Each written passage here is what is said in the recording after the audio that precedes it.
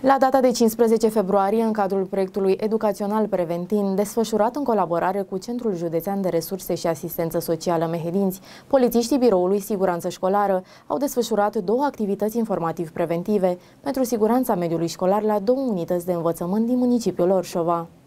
Scopul activităților a vizat creșterea gradului de conștientizare a elevilor cu privire la riscurile comportamentelor deviante și delicvente asupra dezvoltării personale și vieții ulterioare ca tineri și adulți.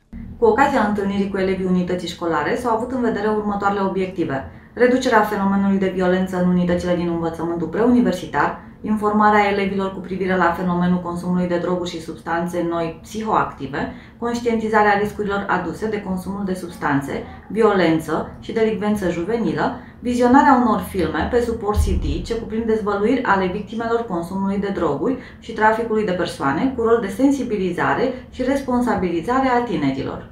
Cu ocazia întâlnirii cu elevii unităților școlare din municipiul Orșova, s-au avut în vedere următoarele obiective. Reducerea fenomenului de violență în unitățile de învățământ, informarea elevilor cu privire la fenomenul consumului de droguri și substanțe noi psihoactive, dar și conștientizarea riscurilor aduse de consumul de substanțe, violență și delicvență juvenilă.